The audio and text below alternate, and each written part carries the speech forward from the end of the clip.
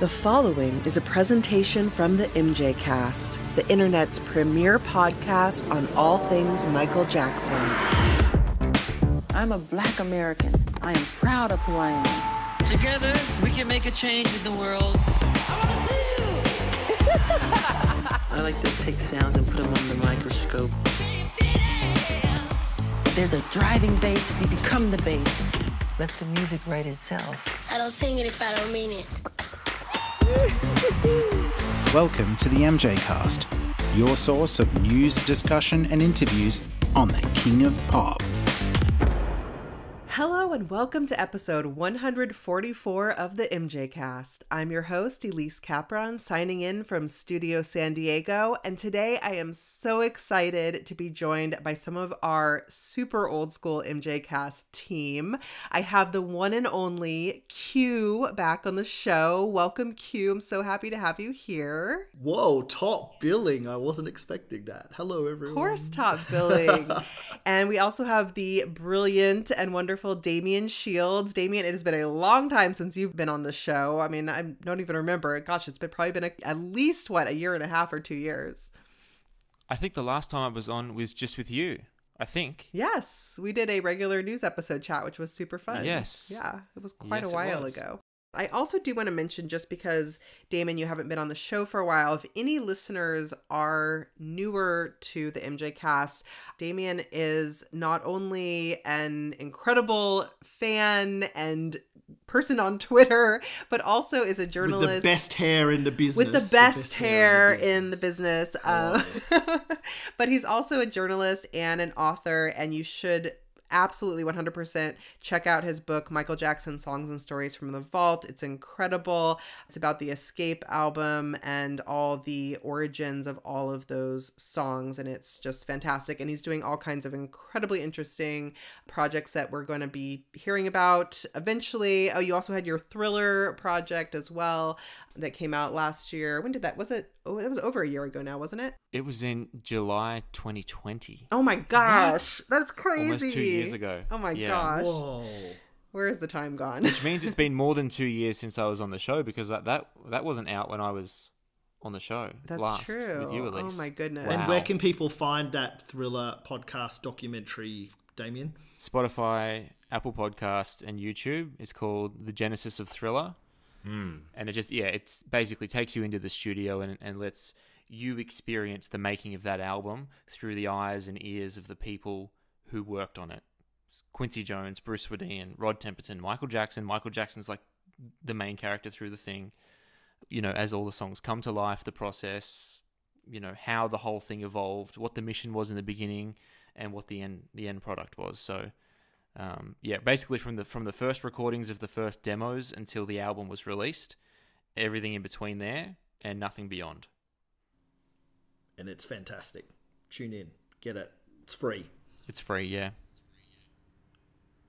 I am subscribing now. Well, so excited to have you back, and we can't wait to hear everything that you have been up to. And then we have our fantastic audio editor and um, frequent co host as well these days, Charlie Carter. Welcome, Charlie. Thank you, Elise. Welcome, Damien. Welcome, Q. Good to have you along. Happy to be here. So, so happy to be here. And I do want to make a little special note that this episode is dedicated to our friend and show founder and co host, Jamon. Uh, the reason he is not on the show today is because, well, uh, many reasons, so many reasons. Number one, he is incredibly busy with work. Number two, he is not feeling well. He's been ill. And number three, he has baby number two arriving literally any moment. So he's got a lot on his plate. We so wish he could be here. We- He was originally supposed to record this episode with Damien, but uh, Jamon, we are thinking of you. We love you. We're so excited to hear about baby number two and can't wait for all your news and hope you get a little bit of time to relax too because you have a lot on your plate. But yeah, super excited to be here with you guys. And also, this is the first, it's May, it's almost June, in fact, and this is the first news episode we've done this season. So we have a ton to catch up on, although we're going to focus on some of the more current news. We're not going to go way back to January. Um, but yeah, I'm really excited to be here and just chat with you guys. How have you been? Tell us a little bit about your updates in your lives. it has been a crazy, It feels like five years worth of stuff has happened since then alone. Like, oh my god, I wouldn't even know where to start. Uh, congratulations to Ukraine for winning Eurovision. That was amazing. Well done to Sheldon Riley for doing so well for Australia at Eurovision, getting to the grand final. What else? I'm a COVID survivor, had that. Luckily, thank you for science and three vaccinations. It was a relatively mild case. The, the husband currently has it, even a milder case than what I had. Um, Mum and dad have just finishing recovering from that as well. Oh my gosh, it Um, got all of you guys. Pretty much. My brother had it quite bad, actually. He did not have a good time with it, but he's doing better now. What else? Big news for work Monday, tomorrow. Uh, so we're recording this on what, the 22nd of May. Uh, so tomorrow will be my first duty back flying on an aircraft since June 2021. My shoulder injury has healed enough that I've been cleared to go back to work. I had exams for my emergency procedures last week. In case you didn't know, listeners, I'm a flight attendant, and flight attendants have recurrent exams, usually every six to 12 months. So I was well overdue for my emergency procedures exams and had those over East this week just finished, and I passed those with flying colours. But because I hadn't been on an aircraft since June, it was very stressful and nerve wracking. That's that's that's enough. That's enough news. We just oh, we, and, June, Q. and June. I know, right? June last year was last time I. That was when I got put on ground duties because of my injury and the rehab that the recovery needed. So, oh, and then other big news: Australia just had its election, federal election yesterday, and we finally kicked out that horrendous, idiot, stupid Liberal government and ScoMo. So, bye, Bish, you're gone. So Yeah, he, he can go home like he told all the international people in our country in the Yes. biggest crisis in modern humanity. That's Go it. home. Go home So, and don't come home. back. You're not allowed Yep. to come back, and you're not allowed to leave to go visit anyone overseas. And fuck, so many reasons that it's great that he is gone. And the Greens picked up more seats. Well done over there in Queensland, Damien. Greensland, we're now going to call it. Got a few extra seats there, which we're very happy with. So that was great news from last night. We now have a new prime minister and a new party in charge. Thank God. That's great. Yay. And uh, Damien, you have been, I know, working away on a project which we will hear about at some point when it's ready. And I know you've been working a lot and tweeting a lot and putting out all kinds of great commentary on on Twitter. So thank you for all of that as always. Yeah, usually when I'm tweeting a lot, it's when I'm agitated. So I'm sorry about that, but um, you know, We love your the agitation. people in my the people in my private life, I don't talk about Michael Jackson with them because they're my my normal kind of people. So if I have something that I really need to get off my chest, it usually goes on Twitter, and then yeah, you all have to deal with that. So sorry. it's always so well said and so well thought through. I am in a place in with Twitter right now where I think I'm No, still you should see my drafts, Elise. My drafts. my my drafts are how I really, really, really feel. Oh. And then what I actually tweet is like super duper self censored Damien. So just times it by a hundred and then just imagine what could be in my drafts. It's well, I think may, they maybe one look- day in like twenty years I'll go through my drafts, I'll publish all my drafts because they're out of control. Yeah. You should. I would like to to see what they say. Yeah, I feel like Heck I'm yes. lucky right now if my tweets don't have 45 typos in them. Um, I feel like I'm still in in mom brain mode in a lot of ways, but uh, but I do what I can. So, and then uh, Carter, uh, let us know how you've been since the last time we heard from you on the show. Oh, I can't complain, Elise. And if I do, no one listens. You know how it is. You've literally got a whole bunch of listeners right now tuning right, in. well, I'll, I'll, I'll try and uh, wrap it up within a minute. Then, oh, I've done done a fair bit of flying in the last couple of months. Now, Q, uh, this is something that we've been waiting a long time for the ability to talk airplanes, but we probably shouldn't do it in this forum.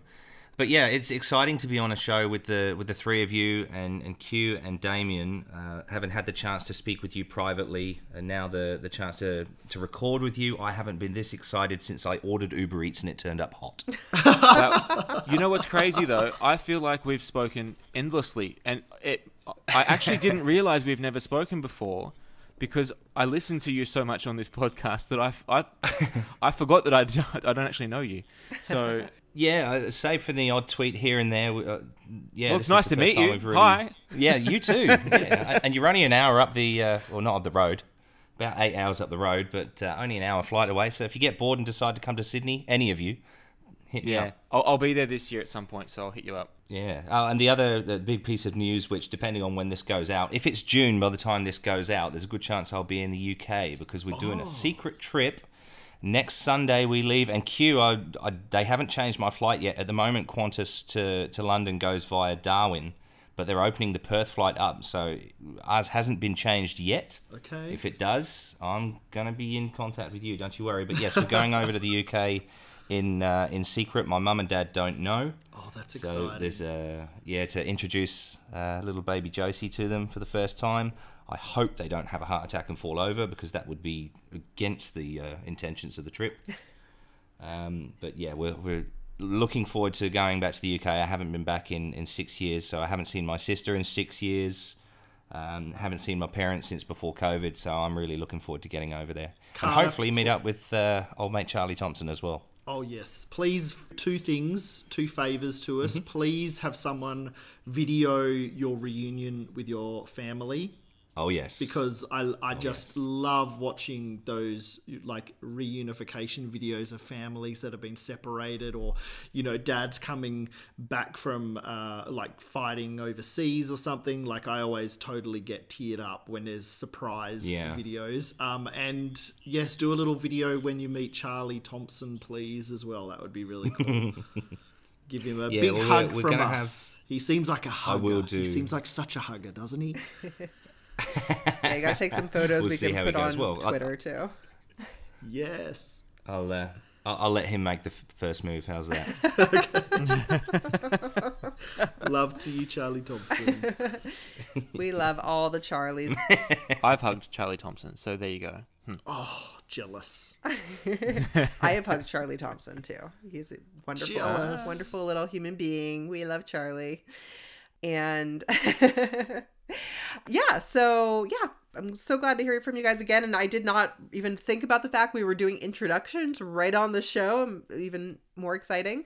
Um, I have been busy, busy, busy here, just kind of getting used to being a mom, and and so haven't. I I've been on a few episodes the last few months, but I probably was a little bit delirious still. So I think I'm finally getting to the place of feeling a little bit more like a human. So all that's very good. And I am again wishing Jamon the best with number two because right now having one, I don't have any idea how people have two children and survive. So good luck, Jamon. I, I want to do a quick shout out to both Elise and Carter. Elise, the episodes you've been on have been amazing, and I've actually been blown away that you've been able to do as much as you have Oh, you're sweet. with a newborn. And the same goes for Carter.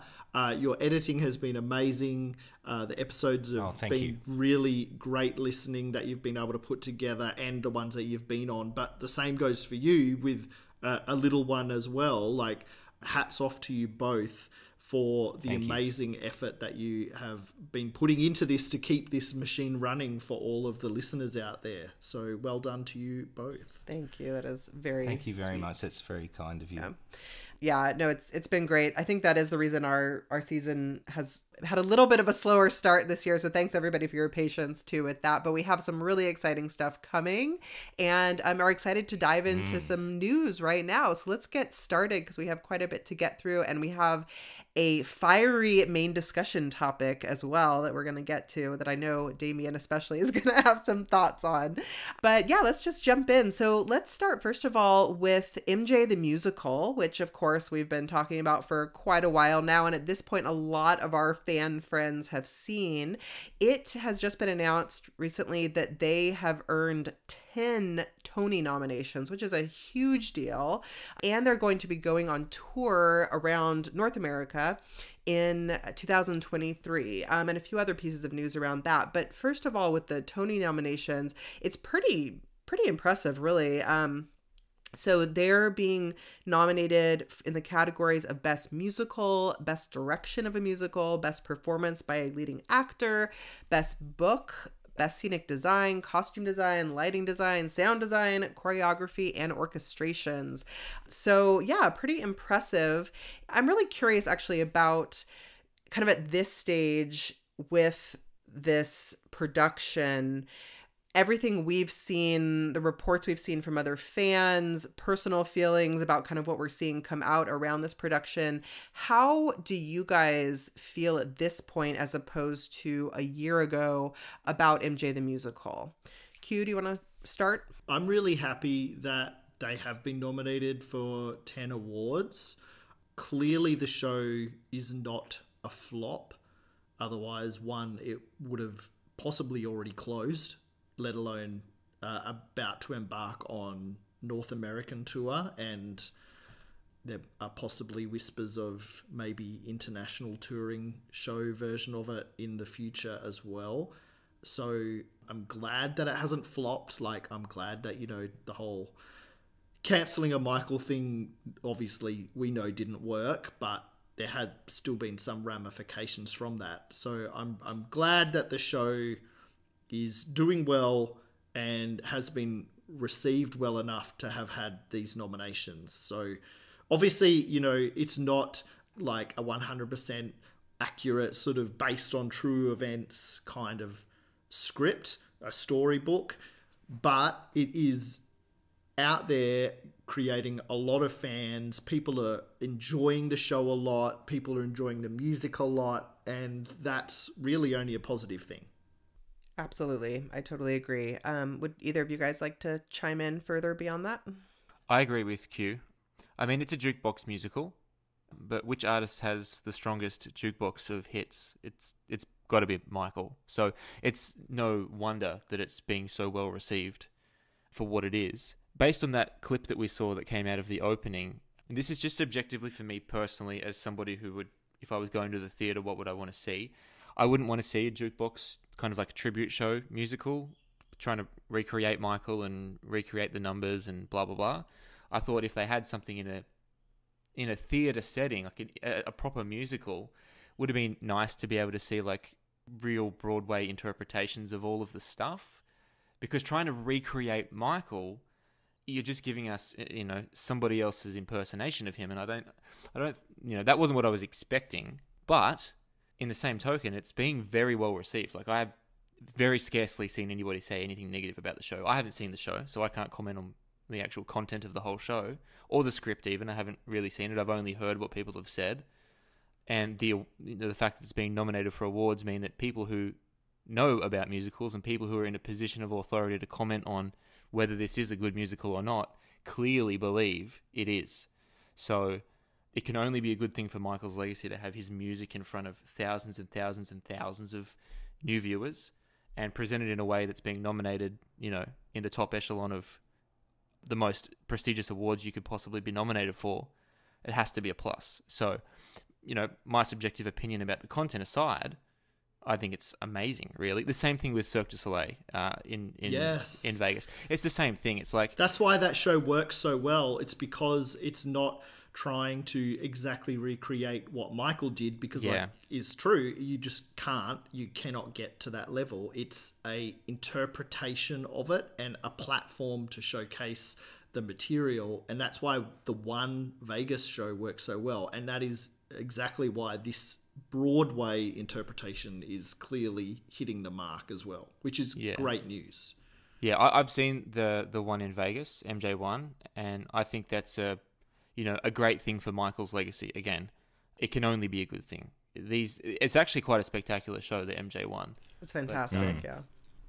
I'm not sure that I'm gonna ever endeavor to see the musical. Doesn't seem, based on what I have seen, to be up my alley. Something that would appeal to me personally. I just want the real Michael. I don't want to see other people trying to interpret him or recreate him. I just want him. So, and it's not him. So I'm sort of with you on that one, Damien. In that uh, when I go and see a Michael Jackson show, I know I'm going to be disappointed because it's not Michael Jackson. Having said that, I've also seen the uh, MJ1 in uh, in Las Vegas in the Mandalay Bay, and it's up there with one of the best live performances I've ever seen, particularly of Billie Jean. And uh, you know the lights going through the suits and the moon walking up the wall. It was just fantastic. I've also seen Thriller live here in Sydney, and I've seen another Michael Jackson show that I can't remember exactly what it was called at the Olympic Park. So I sort of go into it wanting it to be as accurate and as close to Michael as possible, and knowing that I'm going to be disappointed because it's not Michael, but also enjoying it and being able to see the artistic interpretation that these guys have put on it. But by far and away, uh, MJ1 is the best one I've seen. As for the one uh, in New York right now, MJ the Musical, I'm probably not going to make a special trip to see it because I can't afford it other than anything else. But uh, if it comes to Sydney or somewhere close by in Australia, I'd, I'd certainly be interested to go and see. Because when we first spoke about it on this show as well, some of the reviews they said overall it was a good show, but then they'd say things like using the wrong music in the wrong part or misinterpreting what the songs mean, like Money, um, with questionable antics from the character playing Joe Jackson and actors playing more than one character.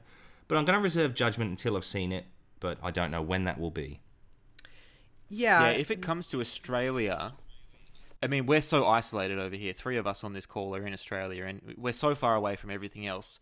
Even some Hmm. people in other countries, they have countries that are close by that they can, you know, country hop and say, "Oh well, I'm I'm in France, but I'm going to go to England to watch it." It's not Hmm. like that for us. We can't do that. So unless it actually does come here, it's practically impossible for us to to see these kinds of things. You know, unless you're taking a once in a lifetime huge international trip to go somewhere, but you don't just do that to see a musical, right? So it's very, very difficult for us to, to make those plans. But um, if it does come here, that won't be a huge endeavor to go and check it out. I'm probably with you on that. If it comes here, I might, I might check it out. Um, depends how my mood Might is be an that week. excuse for the four of us to get together. yeah, Yeah. it could be great. But on the plus side, you guys live in magical Kangaroo Island, so you know I don't get to do that.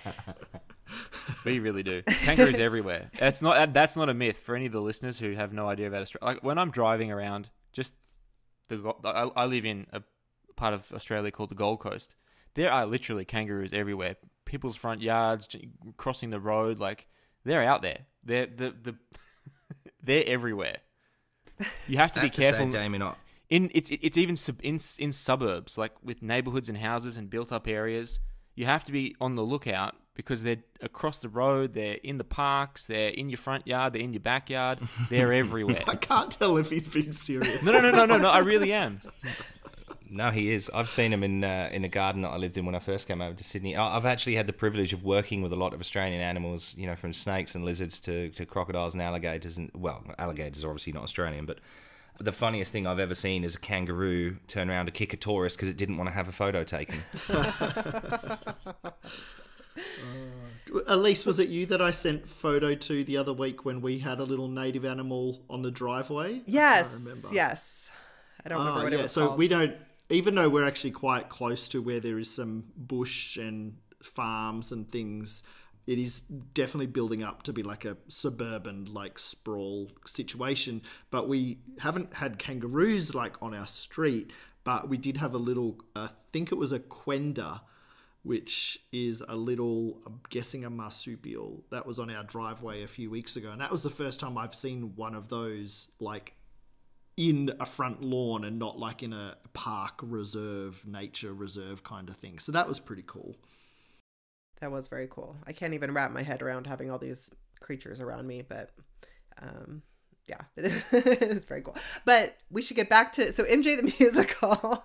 Um, Yes. yeah. I um, first of all, I do want to say in our show notes we will have a link if you have not seen it to the opening song, which is I believe a version of "Beat It," which they they released on Instagram and and social media. So that will be there if you have not seen it. And I did just want to add a couple things here. So I also have heard only positive stuff from friends who have gone to see it in New York, um, except for like I think Carter, you mentioned that kind of issues around like the money, the use of the song money, things like that. But I think I probably will ultimately see it if it does tour around. I was very tempted to go to New York, but I do also have this question of, you know, when this production first was announced, we were all kind of in a rage over Lynn Nottage, the the playwright, and the fact that she was being, you know, she really would not come out and say that she felt that Michael Jackson was innocent of his accusations, and that was something a lot of us were holding against this production. And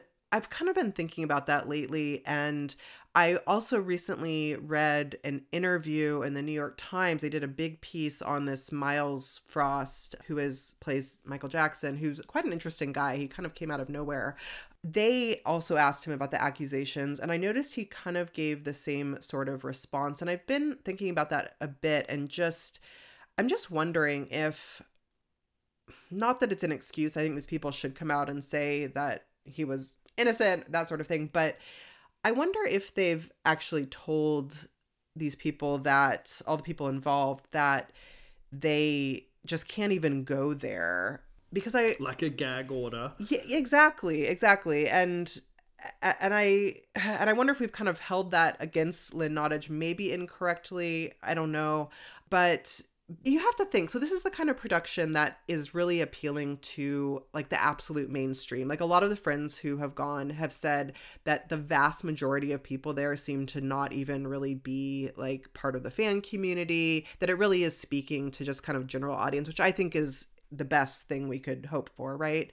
But i wonder if some of these people if they were coming out in interviews and kind of going on about michael jackson's innocence if that would somehow like if the estate maybe or whoever whichever higher up teams think that that would somehow kind of backfire against mainstream people coming and just even making it an issue or part of the conversation do you guys have any thoughts about that at all? This was kind of floating around in my brain as i was thinking about my kind of change in feelings from even a few months ago about this show. Well i think that myles frost and, and whoever else is in the show they're in the show based on their artistic merits and their ability to perform the role that they've been cast for better than the other people that were available. They're not cast as ambassadors for this or for that. They're performers, right?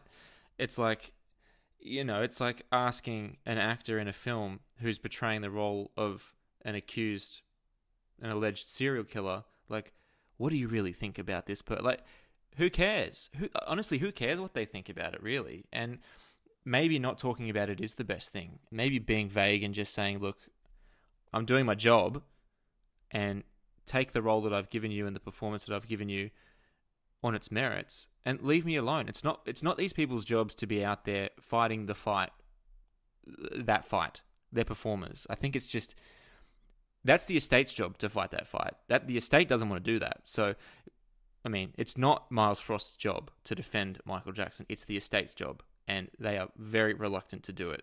Maybe they've instructed other people to not do it, but for me, even if Myles Frost just flat out didn't want to be an ambassador for, for this or for that, I would not hold it against him at all. I think he's he's seems to be doing a good job at what he was hired to do, and it, he should be left alone beyond that. He shouldn't be expected to to go anywhere above and beyond his his pay He's he's the performer. That's it. If he wants to go above and beyond, you know, great, do it, whatever. But he shouldn't be expected to. I I think that the possibility of the cast and production team faces behind this have been told not to talk about it. I think that's a very strong possibility. If they did not have those instructions, if they didn't have a gag order, and they did have an opinion one way or the other, I would be quite fine for them to share it, especially if it was positive opinion on Michael and the facts behind the allegations. If they knew about it, which a lot of people don't also research and you know haven't read the court transcripts they don't know the actual history of these things because it's not part of their job and they're not yeah. like a whole they're not like trawling the MJ fandom just to hire MJ f- super fans to be in these productions. So like again, they're not going to know the whole history. If they did have an opinion and if they were able to share it and someone asked them about it, that would I would be fine with them answering. But I do think that a gag order situation and like non-disclosure thing or whatever, like don't talk about this. I definitely think that's in their contracts for sure. Great. So, yeah, moving on to our next topic. This is a, a quick but an important one. So, it's exciting news that King Kingvention has returned after a COVID hiatus. It's going to be taking place on September 17th and 18th, 2022, in London. And there's some real great guests that have are, are already confirmed to be part of this, several of whom have been on the MJ cast before. There'll be Lavelle Smith Jr., Bill Bottrell, very exciting, Kevin Dorsey, and Alan Scanlon, and I'm sure some others to be announced later on. But this is great news. I know that this is quite an amazing event. I've never had the chance to go, but I actually know some folks from the US, fan friends, are actually are actually going. So, um, in fact, I think MJ Giving Tree is going and is going to have like a booth there. Pretty big deal. So, Oh, um, that's great I idea. know, I know, isn't that great? She's if Shout out to MJ Giving Tree. I love her. I love her bracelets. She makes really beautiful bracelets and other MJ inspired jewelry, which if you have not checked out, you should go do that. She's a great friend of of our team. But yeah, this is pretty cool. Now I have to ask Carter, have you ever been in the UK when this has been going on? Have you had the chance to go to Kingvention? Uh, I'm sure I've been there when it's been on, but I haven't been aware of it until the last couple of years. In fact, until the guys came on the show. I think I bought something from one of them a couple of years ago, a T-shirt or something. So no, I've not had the chance, and unfortunately, it's going to be in September, and I I'll be back in Australia by then. But I mean, just gonna put it out there for for the guests that they want to invite to these things, and any of them that are based on the west coast of the USA. It's it's only a couple of hours extra flying to get to Sydney or Brisbane from from LA. You know, I mean, I'm sure that we could arrange an Australian convention, and let's not forget that Michael Jackson actually got married in Sydney, so there is a link. Bring it out here, guys. Yes, we should. I I love it. I think we should make that happen. We certainly have the amazing fan community to support it um, in Australia. So for sure. Do you know whereabouts in the UK they're holding it? London's Shaw Theatre. Well, you can see in our show notes, we'll have a link there, and you can also go to their main website, which is kingvention.com. They have a very fancy website with lots of videos and Pez Jacks, of course, at the center of everything. If you haven't heard our interview with Pez, it's a really interesting one. Um, but yeah, check it out. If you happen to be in Europe, you should definitely get yourself over to London in September. especially for that roster of guests, folks. Yeah. Like, you know, we have had the pleasure of chatting with um, a number of those, and like, wow, to to hear from them in person, it would be incredible. Like the stories that those people have, they're the stories that definitely deserve to be heard and I'm I'm stoked. I'm so happy that Kingvention was able to get these guests and I'm sure the ones that haven't been announced yet, but yeah, I'm so happy that like people are going to be hearing from Big Al like about Neverland because the insight that he had, that was absolutely one of my favorite episodes we've ever done. Absolutely. And there really is nothing like seeing these people in person and getting to hear their stories. It's so special. I actually will be going to Brad Sundberg's in the studio with MJ in LA next month. That's also just been slowly coming back to in-person events and it's just it's such an incredible um thing. It's you just ha- you have these moments that you never forget and I will never forget Vincent Paterson like showing us his his zombie shirt. Or no i'm sorry the beat it shirt he wore which was so tiny. It looked like it would like fit on my arm. It was very very small. And he had his uh zombie teeth from the thriller video too. And these just amazing moments and these guests get teary and it's really incredible. So um so yeah fully agree. It's a very special thing. And hopefully someday we can get bill Bottrell on the show. That would be awesome too. So we have our own little guest wish list from the people uh, who will be at convention. If any of you get to meet Bill Bottrell, please say, tell him he needs to come on the MJ cast.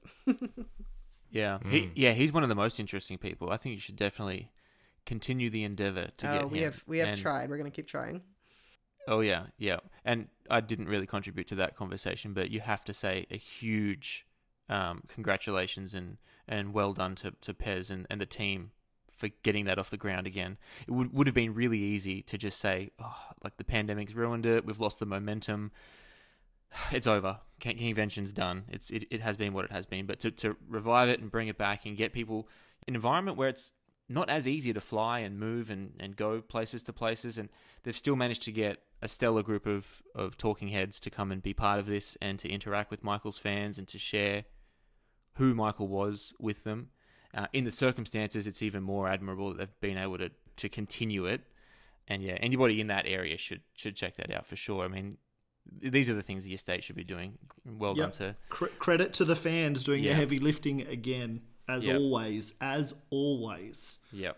Yeah, and with with limited resources. I mean, it's not like they've made 2.6 billion dollars in the last 12 years to throw it at something like this, right? You know, I I mean, it's, but seriously, I mean, it's a snarky comment, but like, it's true. These these people are just everyday people like us, and look what they're managing to bring to fans. So who have yeah, who have bravo. day jobs Bravo to them. and and Yeah, run websites and still lives. manage to put on a humongous super like high profile com- convention i don't know how it happens it's amazing Oh, even just their even just the MJ Vibe website, like whenever there's news, you can go to the MJ Vibe website within hours, and the news is documented there with an article. Like that takes time. That takes it's that takes you ha- away from whatever your normal life is to sit down and do that and get it online and make sure it's you know right and has a nice picture and it, everything is.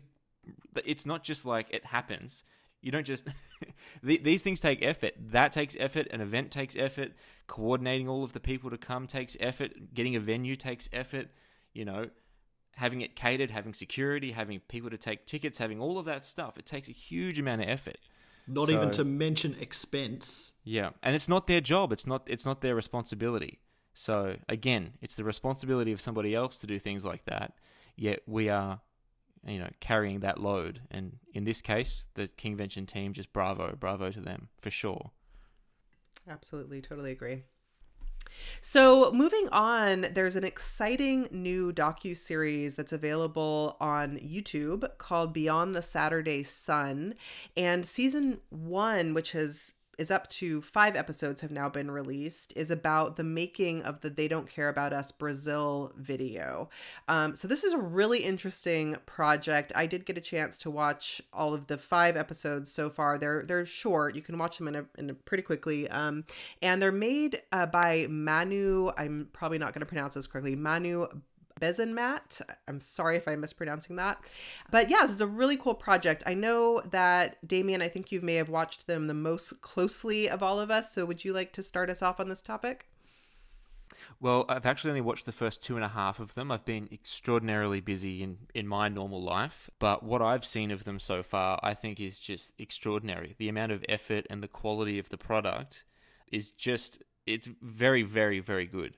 These stories for me are, are super, super interesting because these are the stories that nobody else is going to tell. If somebody like Manu doesn't go and tell these stories, you'll never ever hear them.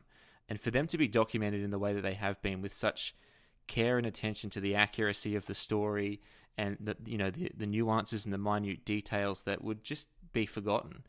I think it's absolutely astonishing and these are the kinds of products and projects that I like. So for me, I was really excited when I saw this coming out, and um, I think it's everything that it needs to be. It's beautiful. It's definitely done with a lot of love and a lot of effort. I would encourage all the listeners to go and check them out. And the beautiful thing is the episodes. If you think of it's a you know five part docu series, you're not investing five hours in it. These episodes are like you know five to ten minutes, so you can really get through them, and they're kind of dynamic. They give you everything you need to know. They're very isolated in their subjects, so you're not going to be bombarded by useless information. You're not going to be seeing four hours of drone footage. It's going to be the story focused, the facts that you need in a really clear and concise way. And I actually was halfway through episode three before we started this recording, so I'll get back to it and I'll eventually get through the others. Um, I've been sharing them anyway, even though I haven't watched all of them. Based on the first two and a half, I'm very happy to to recommend it because it's yeah for me excellent. Yeah, I, I fully agree. I highly recommend. I have watched all five. I would actually like to rewatch them because I watched them watch them kind of quickly, but definitely go check these out. There are more coming. The first several in the series, I think maybe the first three or even four, go in depth with really talking about all the ways they tried to kind of legally stop the filming of the video from happening, which is quite interesting. A very like tangled, you know, with the Olympics and kind of different political things going on. And then when you get into episode five, it really gets into all the details of the actual filming itself. But there's tons of great archival video and photos. There are some drone shots, but they're very beautiful, and of the Brazilian beaches. and Yeah, uh, but they take you on a journey, right? they take you on a journey, Some drone exactly. shots of going when she's going to the courthouse to, Exactly. to read the documents. You're there with her, even though you know it's you know it's it's beautifully illustrated with those visuals. It's not just drone shots for this for the sake of drone shots. Exactly. It's beautifully. It's it take it, it enhances the journey. Yeah. It adds another dimension to what she's narrating to you, the story she's telling you, the facts, and you can see it unfolding before you. It's beautiful. Mm-hmm. totally totally agree It- it's all just so well crafted and so this this woman who is the host and the narrator she also wrote and directed the whole series she's a brazilian social scientist specializing in as she puts it collective memory and memory projects which i'm i'm interested in i don't know manu uh, myself in the fan community i don't know if you guys are at all familiar with her but this what was that I was just gonna say, yeah, I- I'm familiar with her. Great Okay. fan, great, Okay. great advocate for Michael, and just uh, she's a journalist as well. So oh great okay okay i was out of the that's loop why on this that. project is so good. She's this is a professional project. yes, it's incredibly professional. It's so well done. And I wanted to say, kind of bouncing off what you mentioned, Damien, is I think that these are are exactly the kind of projects that should ins- exist in the world. These little kind of wonderfully done micro histories of these little slices of Michael Jackson history. Not every project has to be all encompassing, right? It's these fantastic little histories and narratives and getting getting on record the interviews with the people who were there at these interesting moments. That's what we should be doing and doing these projects in the right way and that's what we have here. It's really exciting. Yeah, and one other thing I would add to it as well, um, just before any of the others jump in, is that I already after two and a half episodes have an extraordinary appreciation for the effort that Spike Lee and Michael Jackson went through to get this video to exist.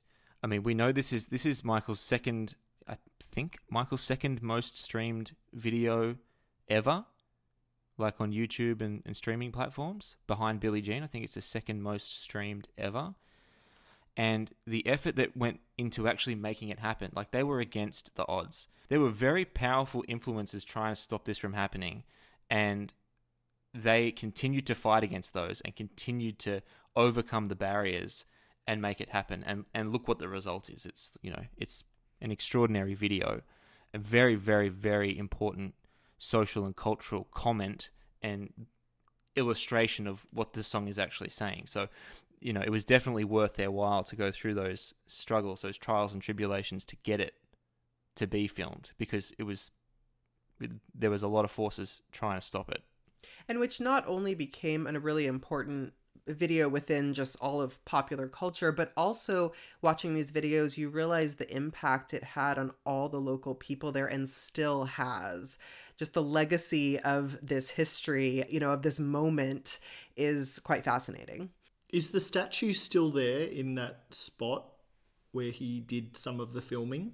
That was one of the very first sort of MJ statues out in the wild that like people artists created and installed. Does someone? I know think if it's still there. I think MJ Fangirl recently went to the site of the filming of the video, and she, I think she posted some footage and pictures, and definitely on the balcony. Like that balcony's become completely iconic, and I definitely saw photos and videos of her up there. But um, I'm pretty sure the statue is still there.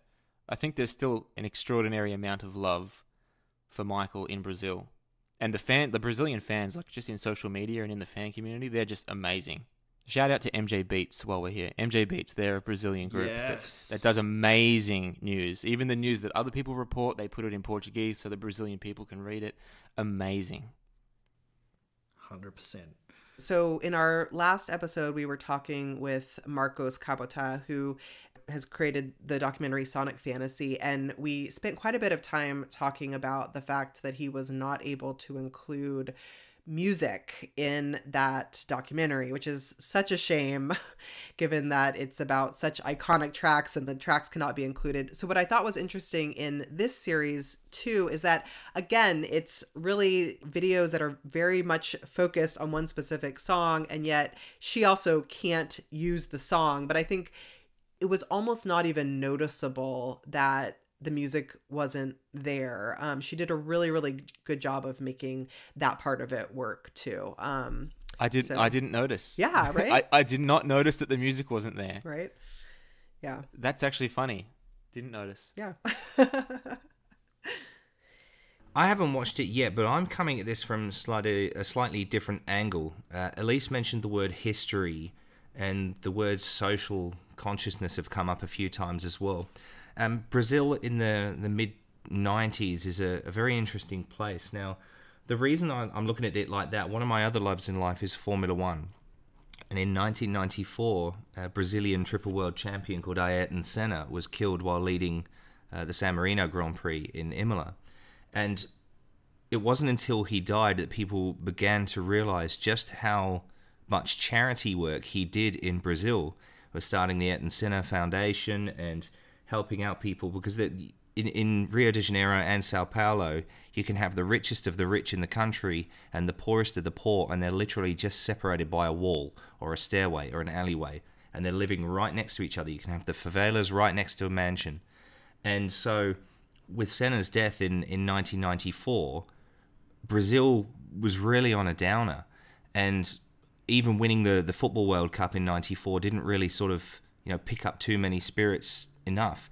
So to have someone who was so charity minded like Michael Jackson come in early 1996 to do this video and put the focus back on Brazil and the plight of, of poor Brazilians as a whole, I- think that there's a there's an element of that that I'm looking forward to watching about this documentary, and uh, you can see how many people showed up just to catch a glimpse of the guy.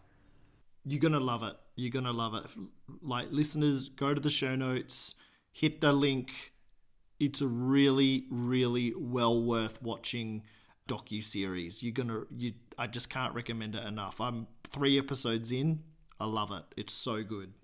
Huge hats off to the creators because it's really, really, really something that fans are gonna really enjoy, and a story that absolutely deserved to be told. And it's something I really enjoy as well, is looking at documentaries about, you know, this is what this place looks like now, this is what it looked like then, this is how it was then, this is how it is now. This is another example of that. So I'm sure that I'm really going to enjoy it. Yeah, absolutely. I'll be curious to see what other topics they tackle in future seasons too. Are there actually plans for that? Well, they're they're presenting this as season one, so I'm guessing, but I yeah yeah I'm hoping it'll turn into a whole thing. you know, that'd be great. Yeah, but I have to imagine that just these episodes took a long time to put together. I mean, they're really well done. They have all these interviews, you know, with different people that clearly would have taken a while. And I know at one point Yeah. she talks about getting finally getting this one conversation that was, you know, uh, this kind of revelation to get. So I just think about how long she was working to get that to get that story. Yeah. So Well, you can't you, you can't tell your story. You can't present a story until you have all the pieces of the puzzle. Right. And like I know that very well in some of the stuff that I'm working on. There are some of my most important interviews that I've taken 10 years to get, pursuing for 10 years before you actually get the piece of the puzzle that you really needed. So, yeah, bravo to her. I mean, uh, this was at least in production for a year because she talked about going to a courthouse in Brazil, like physically going to the courthouse to get documents, and that was in April of 2021. So, at least a year ago, right in the middle of the pandemic stuff. So she was really getting out there and trying to, you know, feet to the ground and and and get the pieces of her puzzle. So Well, we're definitely cheering you on, excited about what else is in store. And yeah, so moving on, this is a quick item, but worth a mention. There is a, I was called a quote unquote new single out from Jermaine Jackson called Save Tomorrow. And it's coming out June 3rd. And um, this is actually a remastered solo version of his duet, which was re- recorded with Teresa Rhodes 25 years ago. So just a little teaser has come out right now. Have you guys had a chance to listen to that? And do you have any thoughts? I'll start. No. Okay. I will continue. I will continue. And yes, I have watched the teasers as they've been coming out. And with the links that you gave this morning and that info, because I wasn't initially aware that this is a uh, like a solo version of a duet that he featured on in the mid 90s. About uh, when was it? It was about 94, 95, perhaps. It was around the era of the awful Sarajevo War, Rwandan genocide, uh, and it was sort of almost like a anthem shining a light on those things. And the video that was made to accompany the song was sort of deemed too sad and it didn't get a lot of airplay back then, even though the single did chart quite well in Germany at the time of release with the links in the show notes, go check it out because you can then find the original recording and the video that accompanied it. And yeah, I'm looking forward to hearing Jermaine's version. Jermaine's got a great voice, and the production included in the snippet sounds really great. Like very modern, clear, beautiful production. And the harmonies that Jermaine has, like, you gotta love those. So yeah, it's worth checking out excellent singer, and it's also nice to see him back with something. Although I haven't seen what it is that he's back with. He he wasn't very well recently, as far as I know. He was not part of a, a number of the shows that the brothers did. So if he's you know feeling in good enough health and spirits to be back and, and, and bringing us something new, that's that's excellent. You only want the best for the Jackson family, so that's nice. Mm. I, the only thing I've got to add to it is that I, I, I thought it wasn't too long ago that I recently read that Jermaine, whether it was health related or not, was sort of taking a step back from the entertainment industry. So, uh, and that might have been behind his reason not to tour with the brothers. So to see him now coming out or about to come out with another single, um, just surprised me. That was all. But yeah, we'll see how it is when it when it finally uh, gets released. See how it goes. Well, if it wasn't health issues, I apologise for saying that it was, but that was the impression that I was under that he wasn't that. Oh well. yeah, I, I I'm not sure either way. yeah, um, yeah. I don't want to be. I, I don't want to be. I don't want to be giving him a health condition that he doesn't have. So, um, yeah, I apologize, but I, I did hear that. So, yeah, I was also hopefully surprised to untrue. see this, but uh, hopefully he's in good health either way. But yeah, I think it has a great sound. And if you do go to the link that we have in the show notes, it it actually has a really great like long description of the whole history on the original song, um, which is is helpful. And I did go back and watch that original video, and it Q, you're right. It is really sad. It's kind of depressing. So, but it's a great. But it was showing actual historical things. Well, exactly at the time, exactly, which were awful. And maybe this might be I don't know because it didn't have any indication in the trailer or the information in the YouTube description.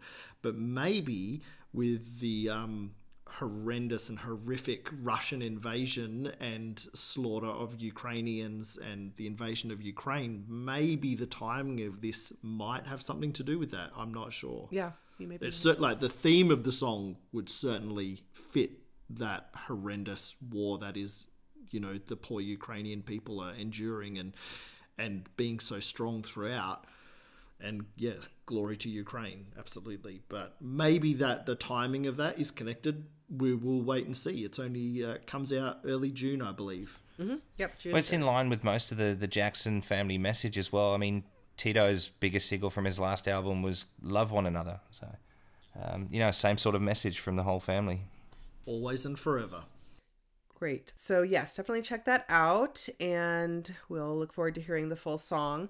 So, moving along, we do have a couple of big anniversaries this year, and this will carry us into our main discussion topic for this episode. First of all, we have the Blood on the Dance Floor 25, which is happening as we record this, in which, of course, nothing has really come out of the estate for this anniversary, but I don't think we were expecting anything more than that. I will say if you are thinking about Blood on the Dance Floor, you know, there's some great material out there. We did not get a chance that much on the MJ cast to talk about Brice Najar's book on the dance floor, which is pretty terrific. So definitely check that out if you haven't.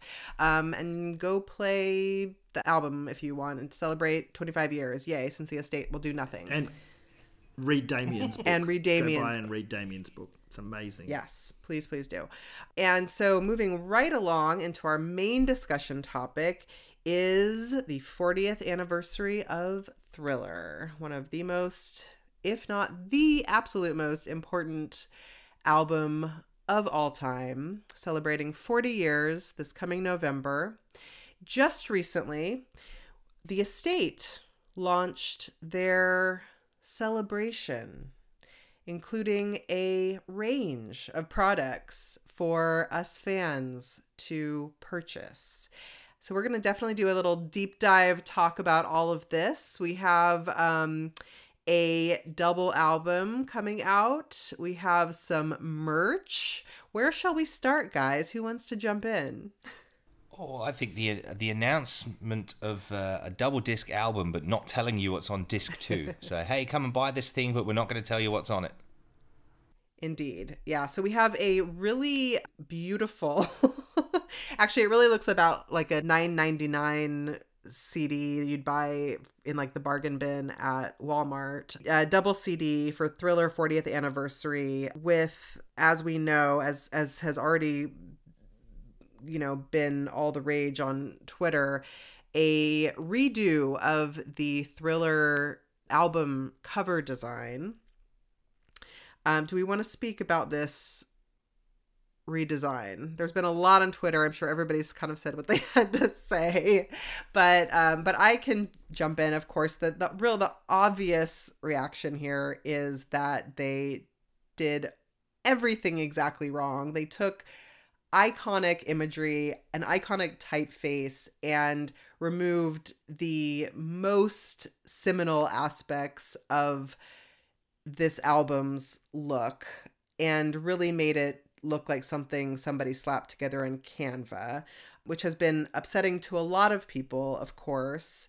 And then they and I know we I want to jump into the details of this much more, but I just want to to add that the estate not only released this just redone terribly redone album package, but then immediately the following day released a letter to all the fans telling us that we basically need to chill out over being upset about it. So there's a lot that's been going wrong with this launch already. There's a couple little things I think are going right, but let's first kind of focus on where what's been misguided about this. Um, Damien, I know you have a lot to say on this topic, so I'd love to start with you.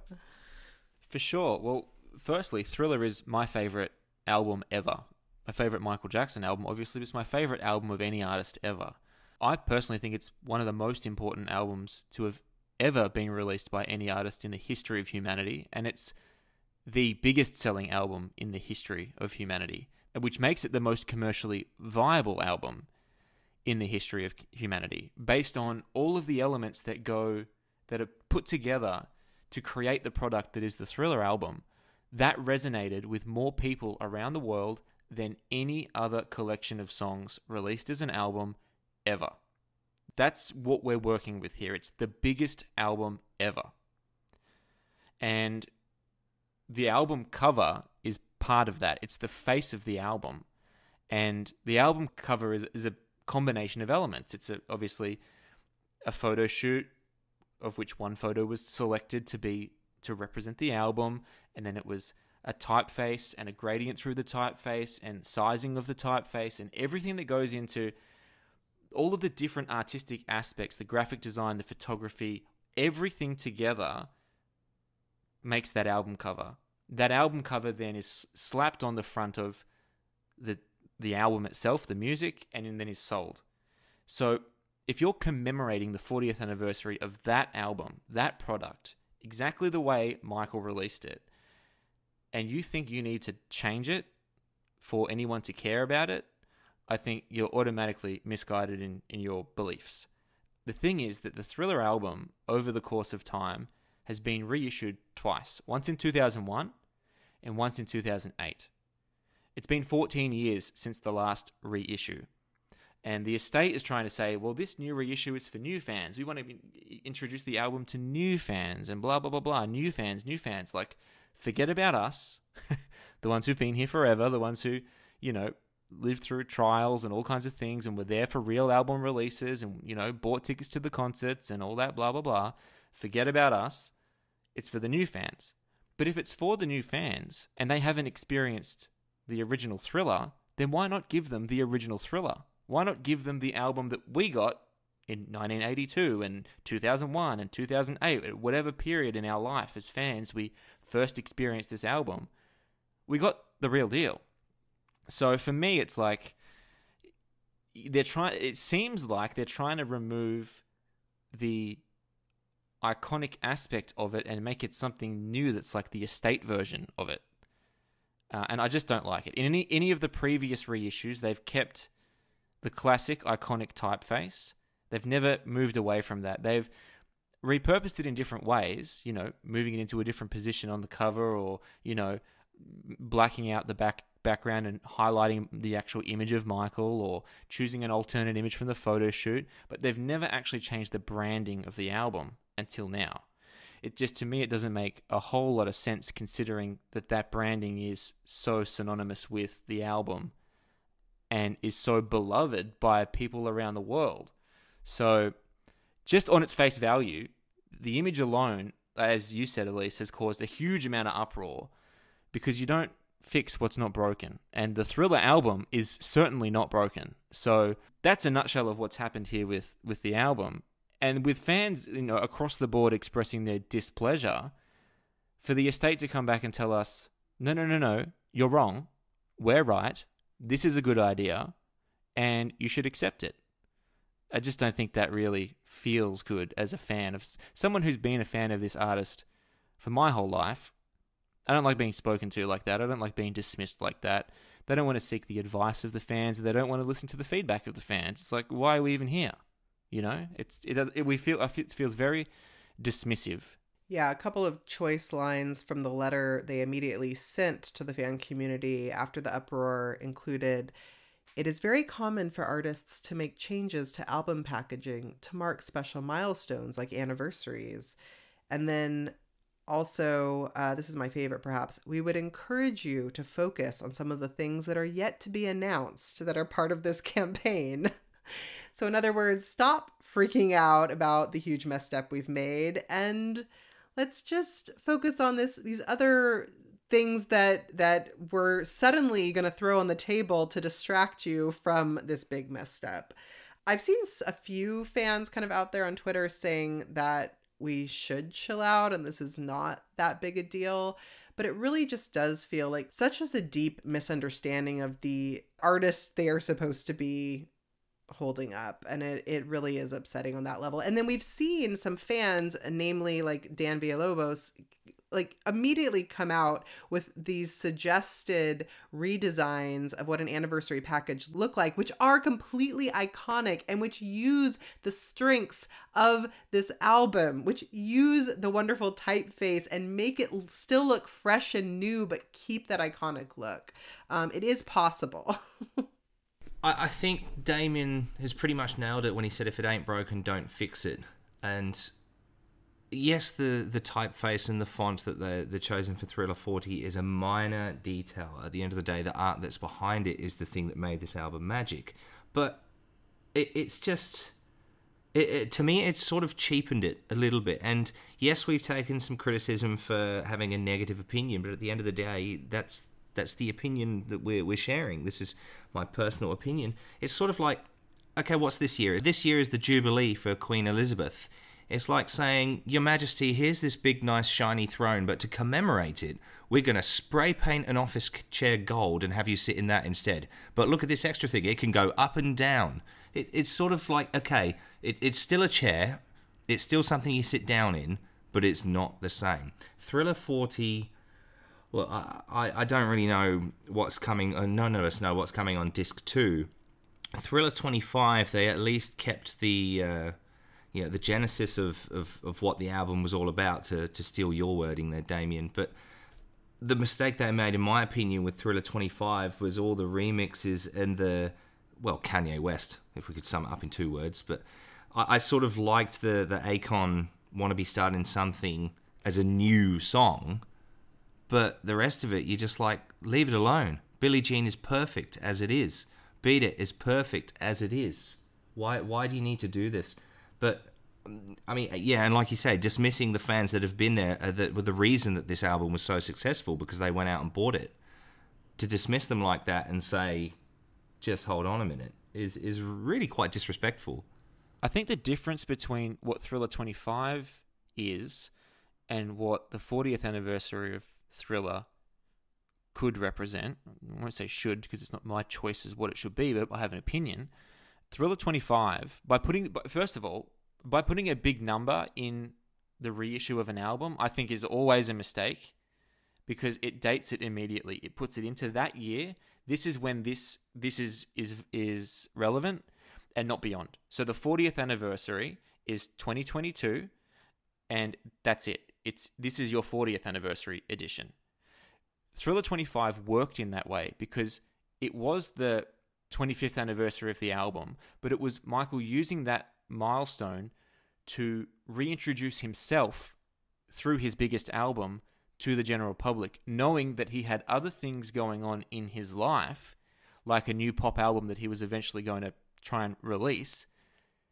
And in that Thriller 25 album, he stamped it in time. It was a 2008 thing. He even put 2008 in the titles of the remakes, and they're not remixes because he didn't re- he didn't reuse the original elements of the, the songs. They're completely new productions, and they're completely changed. And some of the songs, like PYT, goes and uses Michael's original demo, and The Girl Is Mine uses Michael's original demo, and Wanna Be Starting Something uses a, a completely new vocal. They're not remixes. It was Michael saying, I'm still a relevant artist, and to celebrate the 25th anniversary of my big album, let's do a new take on my big album in these new versions of the songs from my big album, right? And it stamped it in 2008 to say, today, right now, I'm still relevant and let me show you. That is not what is happening anymore because Michael Jackson is not alive and he hasn't been since 2009, right? So now we're commemorating the history of things that existed and that were created and released while he was here. And if we're doing the 40th anniversary of Thriller, firstly, it doesn't need to be Thriller 40, it doesn't need to have a big 40 on it. It can be like the, the Dan Villalobos artworks. It can be Thriller with you know a little sticker that says you know deluxe 40th anniversary edition but it doesn't need to be thriller 40 in my opinion it's just my personal opinion and people will disagree with me they love the idea of putting the big 40 on there i personally don't no, like for Thriller 50, you just call it Thriller Gold or so. Or, yeah, Thriller know, Gold, just have a exactly. gold yeah, because, yeah, like that. you know, someone suggested that Thriller 40 could be Thriller XL because it's a deluxe, so it's got an extra disc, so it's extra large. But XL is also Hmm. the the Roman numerals for 40, right? So it could be that. It, I just don't personally like the idea of slapping numbers on these things. And, and what you said, Thriller Gold for the 50th, that's what it should be, obviously. 10 years in the future, they need to note that down now and say, in in 2032, we're doing Thriller Gold. But should I copyright that idea already or not? Yeah, yeah, you should. Um, but for me, it, it should just be a commemoration of Thriller from 1982. You can release it for the 40th anniversary, but it, I just don't like the idea of 40 dating it. You know, here's here's a little insight for you from when Michael was alive. Thriller 25 was what it was, and he and Michael was part of that and signed off on it. The King of Pop album, which came out six months later, off the back of a huge success of the Thriller 25 thing. Thriller 25 was massively successful for Michael. It was one of the biggest selling albums of that year. Sony, on the back of that success, wanted to do a 50th anniversary greatest hits album with the fans voting for their favorite Michael Jackson songs, and each country would get a different version, the King of Pop album. They wanted to call it the 50th birthday album, not the 50th anniversary album. Michael flipped out about that. I've got several sources from within his camp at that time, and he was absolutely livid that they wanted to put 50 on it. Because he said that his hits are forever, and he is forever. And yeah, he's 50 years old, but why do you want to put a King of Pop 50 out? Like, that, that doesn't make any sense to him. And to me, I, I agree with that. That's, for me, it's he didn't he didn't want a 50 on his on his hits album commemorating his his hits through the years. It wasn't a new product with new material and something completely new for the for the time. It was a commemoration thing, and don't put 50 on it. So the 2001 editions didn't have a big number slapped on them. They were Thriller Special Edition, Bad Special Edition, Off the Wall Special Edition, Dangerous Special Edition. Could just be Thriller Deluxe. For me personally. Just me personally, and doesn't have to be for everybody, and we can all disagree. But that's me personally. No, I think that's an interesting point, Damien, that I hadn't really thought about that before, but I, I totally agree with you. Like, why not keep this iconic album just simply feeling fresh and evergreen and not putting a date stamp on it? I think you're totally right. Maybe I'm not. Maybe I'm not right, or maybe there is no right or wrong, but it's how I feel. So to not speak it would be, you know. I'm I glad you're I'm speaking. enti- it. I'm, I'm entitled to speak it, but I, I certainly accept in advance that plenty of people won't agree with me, and that's totally fine. That's our prerogative, right? As people with the ability to speak freely and express how we feel.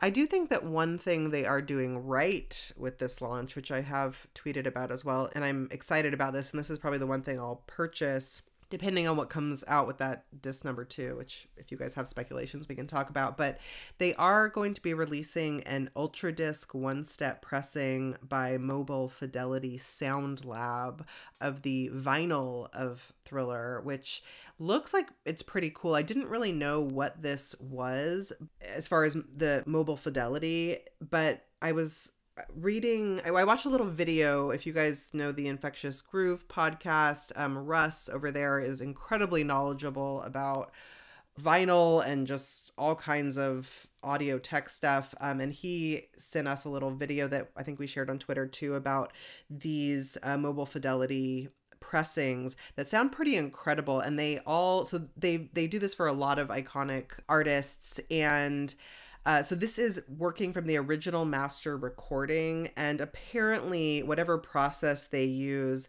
just creates like the best sound quality you can possibly get. So that, and it looks like actually they're going to do. First of all, they use the original album art on this instead of the you know weird uh, Thriller 40 typeface, and they do kind of a whole package that looks really beautiful um, and a testament to a classic classic album. Um, everything just works. It feels important. It's beautiful. It looks really classy. So that I am excited about, and I definitely will be getting. And but that is kind of the the one piece. I will not be buying the Thriller 40 red sweatshirt.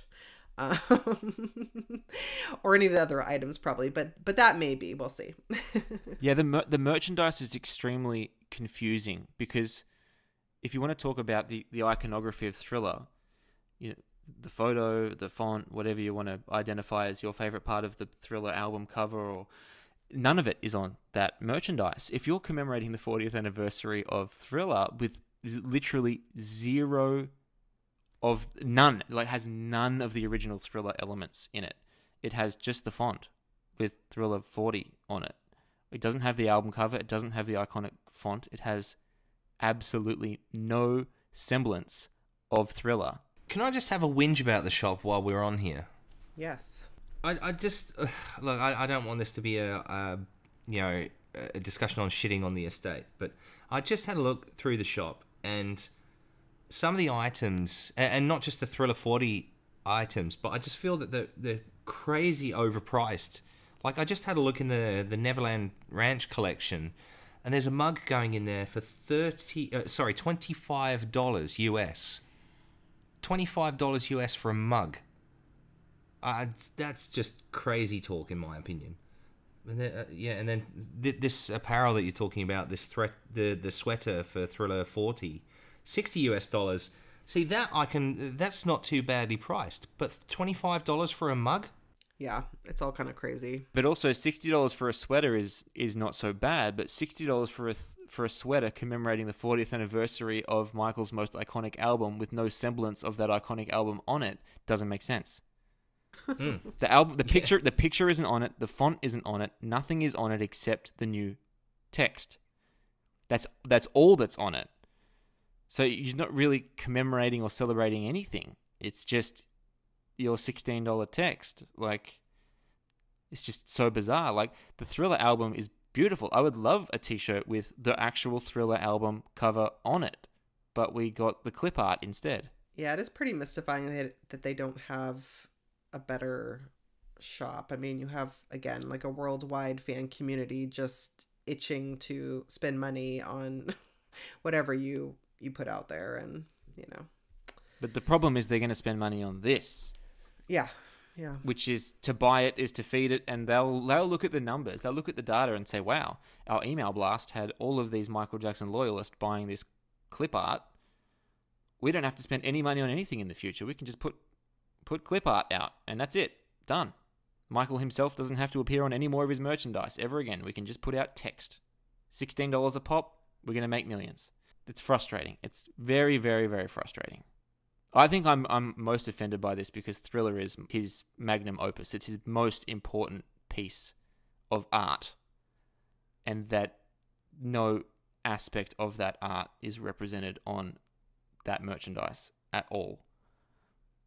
It's just weird. It's just so weird it just doesn't make sense to me either because they're perfectly capable of doing this kind of thing in a way that works. Like, also just looking back at Bad 25, I thought the design for that was fun and interesting and played off the strengths mm. of that album cover. So it's just perplexing to me as to why this one went so far astray. Uh, to give this balance, there's every possibility that there might be something absolutely amazing on disc two, and that you know there is an element of wait and see but you know, there's been precedents. We've we've been let down before as fans, so pardon us for being a little bit skeptical about what positives there are to come. Yeah, well, coming from an, an organization that's in three days' time about to go to the Supreme Court and argue their right to sell forgeries as authentic Michael Jackson material, I mean, yeah, like you said, we're well within our rights to be a little bit skeptical. But the second disc, can we talk about that? Because I think that is exciting. I mean, it's exciting that that there's a chance that we'll get some of the things that we've had online for many, many years in a good quality for the first time ever. We've never actually had like master quality copies of most of these songs. These which we've had the songs, but we haven't had them shining in the way that they need to shine. Uh, I think that's that's pretty exciting and this might surprise some people, but I'm actually not that opposed to being given all the things we've already got again in an official package because we've never had them in a concise official package before. So I'm talking about the hot streets, the night lines, troubles, all those things which are from the original Thriller sessions. These are songs that were recorded during those sessions to create what ultimately became Thriller. Some of them didn't make the cut, but they are part of the history and part of the process that Michael and Quincy and Rod and Bruce needed to go through to get to that final product. You need you need to create some things that that don't make the cut because that's how you get to the that level of excellence that they're striving for by making these songs and then realizing that some of them aren't really where they need to be and then replacing them with other songs. And I think that there's a bit of a journey that they can take the listener on with that second disc, tying it into some of the mythology that goes around the album. For example, I think, it, in my opinion, it would be really, really exciting to get demos of all the songs. You know, we've had a short clip of the Billie Jean home demo. Let's get the full thing. The Girl Is Mine home demo with just Michael. Put it on there. We've had it, but put it on there. The Beat It acapella demo. We've had it, but put it on there. These are things that are you find this in one part of Michael's catalog and this in another, and this is leaked on the internet, and that's over there, and, and this is over here. Bring them all together to tell the story of that album, I, I think. Starlight, the original thriller. Put them all together and allow us to kind of live through the making of the album on that second disc. And then after all the demos of the nine songs, the outtakes, maybe the mythical four. You know how Quincy tells the story is, you know, we did the album and then we went back and had a good hard look at it and we analyzed what we thought were the weakest four songs on our album and we said let's replace these four with four brand new killer songs and they went back to the drawing board, sourced more songs, wrote more songs, and then you ended up replacing the four weakest songs with Lady in My Life, PYT, Beat It, and Human Nature. But let's include those four that got replaced. Like, let's see where this thing was going and let people in the public who aren't hardcore fans like us understand the, where this thing was going. I'm firmly of the belief that Hot Street, had it not leaked, it could have been a hit on its own because audibly it's not a million miles away from some of the you know modern artists like Bruno Mars, for example, 24 Karat Magic. That album has a similar sound, in my opinion. Maybe my ears are, are whacked out, but similar sound to Thriller, in my opinion. Hot Street, in particular, is one song which I've since I first heard it back in whenever it was leaked in 2008, 2009. I've just thought, wow, this, this is a hit on its own. Okay, obviously it sounded a little bit dated, but 80s music is is never going to die because 80s music is the best music there's ever been, and Thriller encapsulates that. And Hot Street, in particular, I think is one that, had it not leaked, you could stick it out there in the public domain today. Obviously, you know it's Michael Jackson, but if it, even if it was uh, not Michael Jackson, the song on its own is strong enough to be a catchy, catchy hit. And that's one that Michael really loved. Like you can see Michael speaking in that deposition he gave in 1993 and they're asking him about Hot Street. And on several occasions, he says, Oh, I really loved Hot Street. I really loved that one. But Quincy and Rod didn't think it was as strong as the other songs, but I really loved it. So that's one that Michael really had a strong feeling for. Another one of those songs is Behind the Mask. The only reason that one didn't go on the album was because there was like a, a royalties dispute between Michael's side and the original writers of the original version of Behind the Mask. So there are some songs on there that Michael felt really strongly about that have never been officially released, which, you know, Behind the Mask was remixed for Michael album. Well, we've never had the original. We, we could get that. That would be new. That would be genuinely unheard. So that's exciting. And then I just think bringing all these things together and putting them in the one place, you know, assuming you've got space for probably 16 songs on a, on a disc, if you could bring together the the most relevant and important and strongest 16 tracks that represent what went into making Thriller next to the final product, I'd be excited about it, really. I, I would genuinely be excited about it. Yeah, and I wouldn't have to look at the uh, album cover to stream those new gems. And I certainly would if they were put out there. So there are elements of excitement. I think there's just it just got off on the wrong foot with that artwork. It really got off on the wrong foot with people who were like, why? But there is light at the end of the tunnel that we're going to get something special as long as it's done right and and as long as it's not a whole second disc of pitbulls and afrojacks, please. Please no. If you're going to do, oh, here's one point I want to make. I don't want to hog all this conversation or anything, but one other point I wanted to make was I'm not opposed to them doing remixes because, you know, trying to oppose something that's almost inevitable is just a waste of energy. I think they're going to do it. Just don't put it on the CD, please. Don't put it on the physical product. Make them streaming only. Kids are not going to buy a shiny disc that they have no uh, thing to play it on for Pitbull and Afrojack. They're not going to do that if you think that there's some commercial viability in a remix with a featured artist or whatever, make it a streaming only thing because that's the only way kids listen to music. They're not going to get this this packaging for that. And the Michael Jackson loyalists, the fans that are going to get the physical CD, they're not going to not get it because it doesn't have Afrojack and Pitbull. So just that's one of the frustrating things. I think Bad 25 was a phenomenal product, like a really, really good effort to bring all of those elements together. But they had two versions of Pitbull and Afrojack, and they had a, another remix of Speed Demon, which is three tracks that took up space where we could have had Smooth Criminal, Dirty Diana, and you know Speed Demon demos instead. And I think that's just I think it's misguided if you're gonna if you're gonna take up space on these commemorative products with things that are only relevant for five minutes on an album that has been, you know, relevant for 40 years. So, again, that's why I think it shouldn't be 40 and I think it shouldn't have remixes. It should be something that can can be be bought in another 7 or 8 years and still be totally relevant. But if someone buys Bad with Pitbull now, they're going to go what the hell is this? So, my opinion, opinion, opinion. It's just my opinion, please. No, you know, I think everything you're saying, Damien, actually gives me a lot. I feel much more hopeful right now.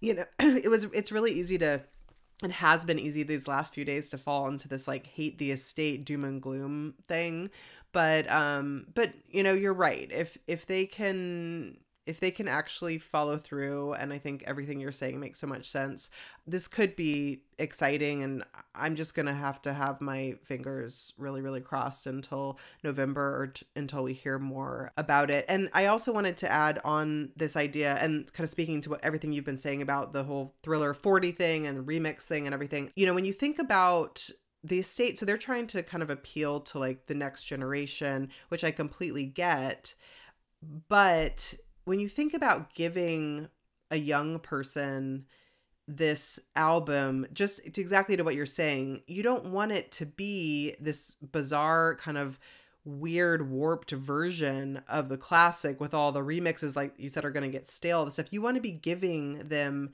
the most exciting version of this still classic album right? And so an anniversary edition is just something that should keep growing and getting better and better and better while retaining its classic core. So it can always be that exciting gift that you do give to the next generation instead of a warped version of the original. So I don't know, but maybe maybe that's possible. We'll see.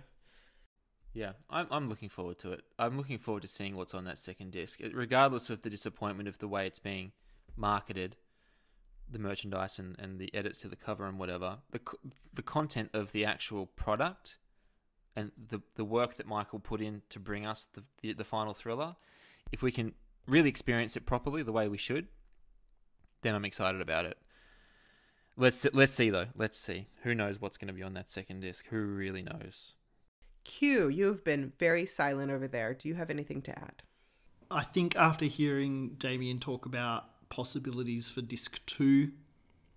I'm curious and I will try to be hopefully optimistic that what is included on disc two and maybe also other versions that they haven't announced that they're going to put out will be exciting. And yes, I think it's great that some of the stuff that has been traded and leaked for many, many, many years will hopefully come out in good quality.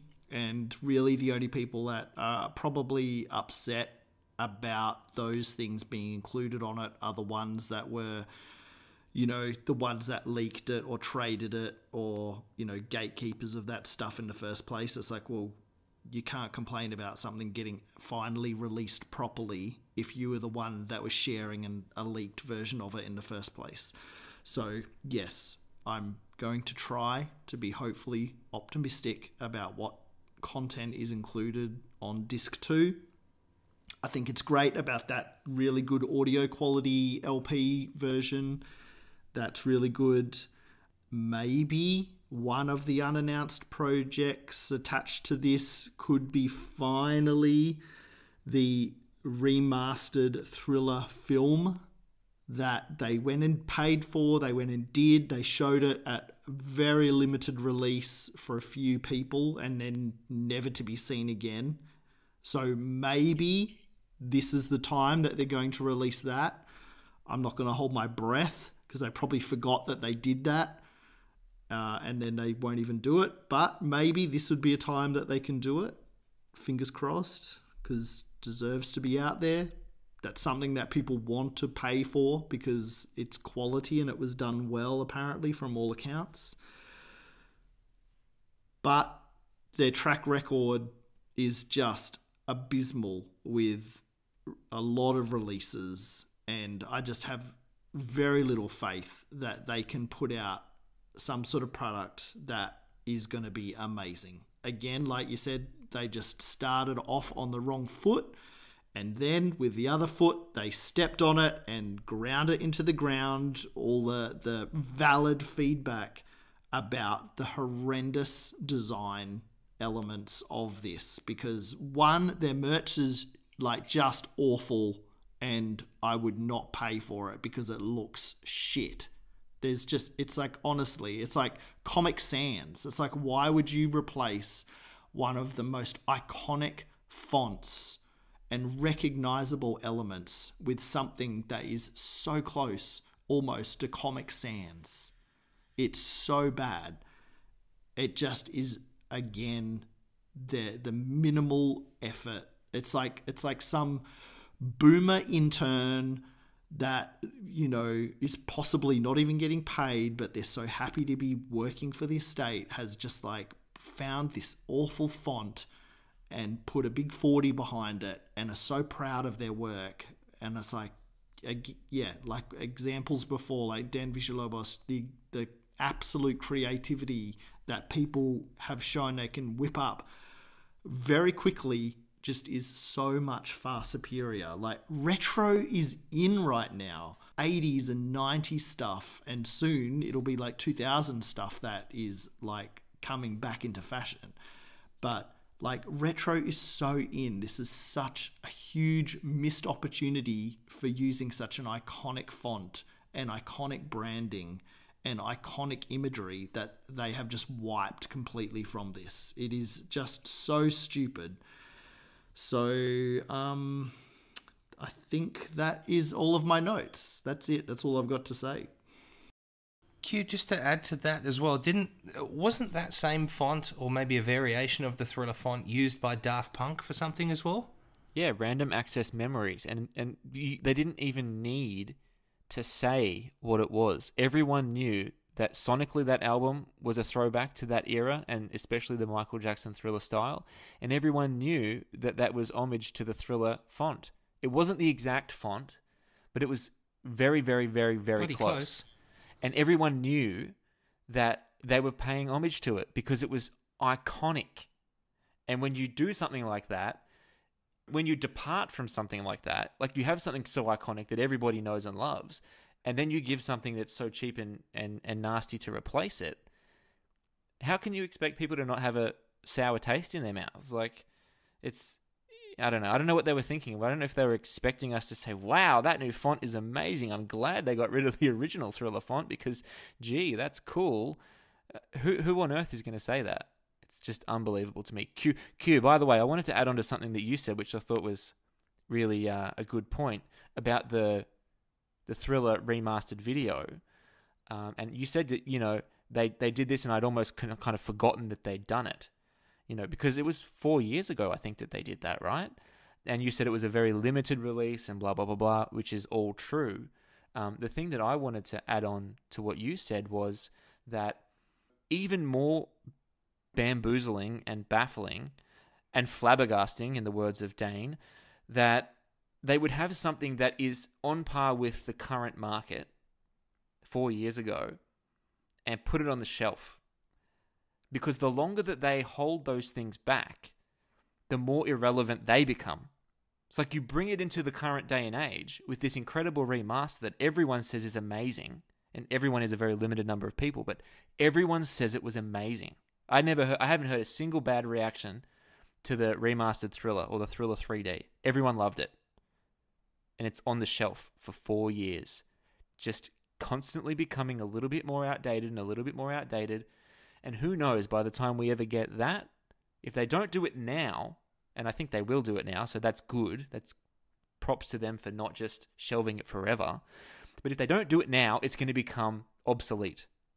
And that would be just such a shame to have actually created something that we could all get around and just say, this is beautiful and to let that become obsolete too. So, I mean, this could be the last chance ever to find a relevant moment to release that stuff, and I hope they do. So, and if they're smart, they'll do it, you know, in the very first day of the streaming week in which Halloween falls in, and everyone will go to YouTube and stream the new HD version of Thriller, and those views will count towards the charts, and the charts will.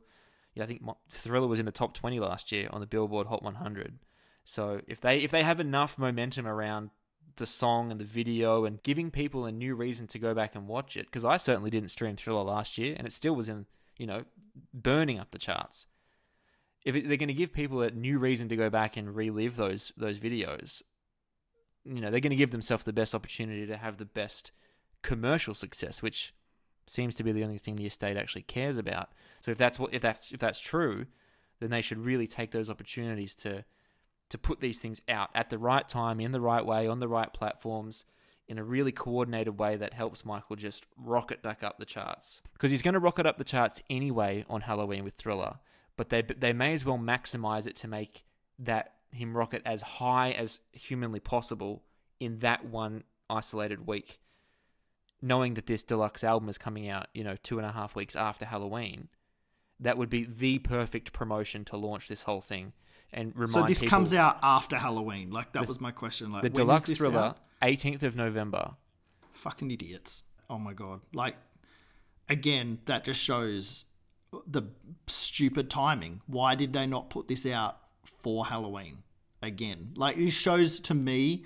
This is why I'm not excited about these official stuff, and I get excited about fan projects like the documentary about the making of They Don't Care About Us that we talked about, like Damien stuff about you know just what fans make. Because to me, the level of care that they put into this is as simple as the font, as simple as the release date and the good timing of when they could put it out, and they just don't care. They just do not show that they care. Otherwise, they would have done the most obvious things, and they just never do. The thing about that release date is it's not really committing to either thing, is it? I mean, Yeah, uh, that's Thriller, what I the was song thinking. itself, the, the the song itself is obviously a Halloween classic purely because of the you you know the video and the subject of the song and this that and the other. But the actual anniversary is at the end of November. So Yeah, by November picking a date slap. Yeah, and what's the release date? You say the seventeenth. 18th, yeah. So it's 12 days 18th. before Okay, the so do you know what the 18th is? We, you know what November 18th is, don't you? That's the date that Neverland was rated in 2003.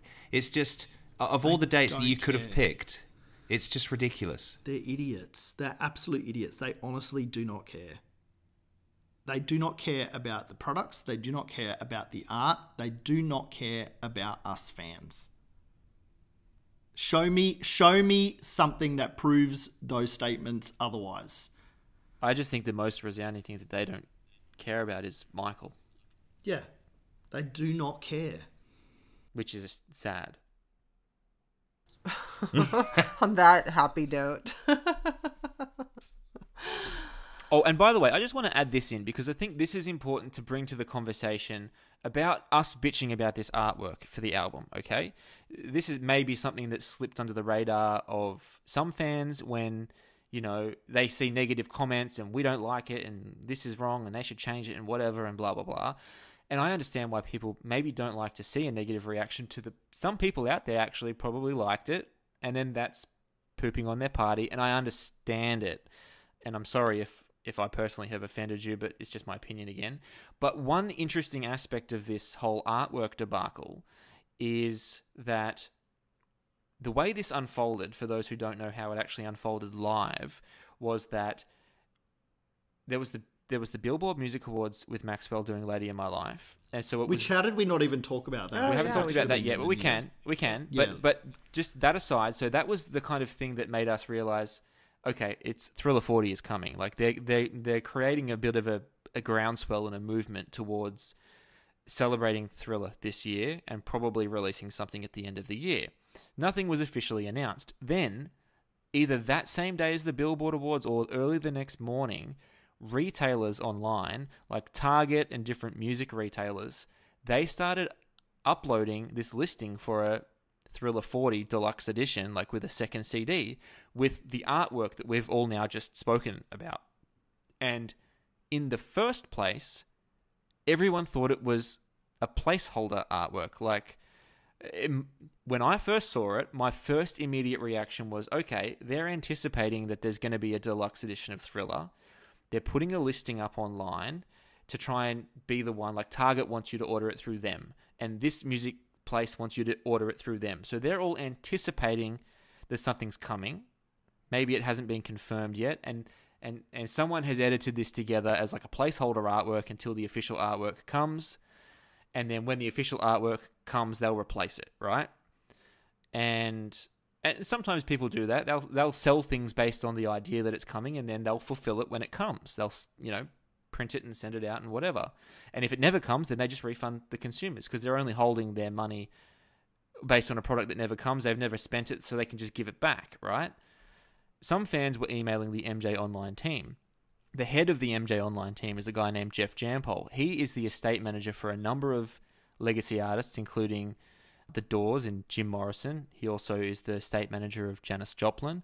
And these artists have really nice deluxe editions of all their stuff. The last thing that came out for The Doors was like multiple discs, unreleased studio sessions, blah, blah, blah, blah, all this authentic stuff, really nice packaging, beautiful.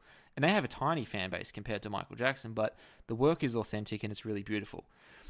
One of the fans who runs uh, the Behind the Mask fan site, Greg Spinks, he emailed Jeff Jampol to say, This artwork can't be real. Like, what's going on? And Jeff responded to him saying, We haven't seen any official artwork yet. All that's online is bootlegs, spoofs, and doctored images. Nothing's official.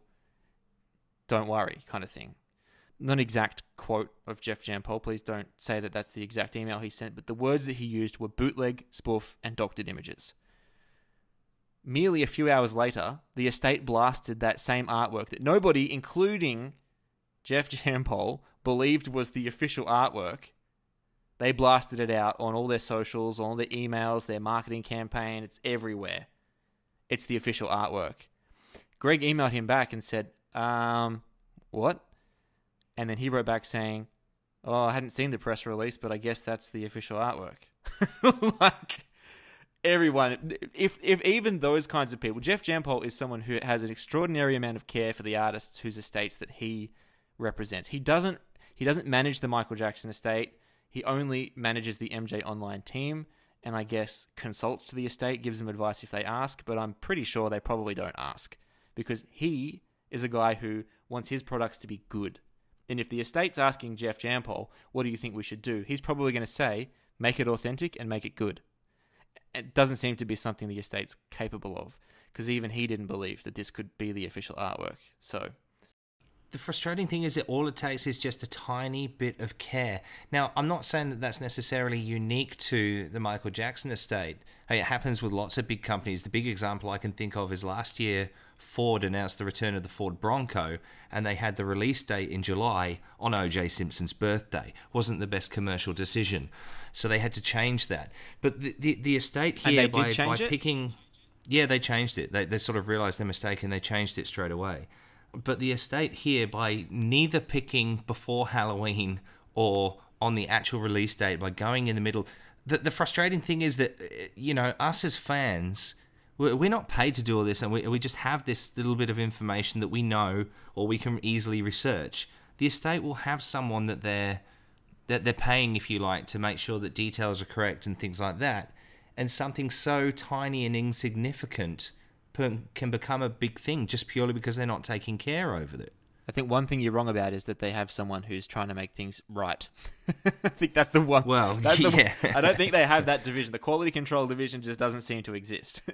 I think. Alrighty, it's- let me rephrase that then. There are several in the Michael Jackson world, whether they are fans, collaborators, family, or what, who could show them the correct details and Oh, give yeah. them the correct care. And, and like people like yourself, Damien, and, and Q and Elise and Jamon on the on the MJ cast, Charlie Thompson. These are just names that come straight to mind because I'm I sort of I know you all now, kind of.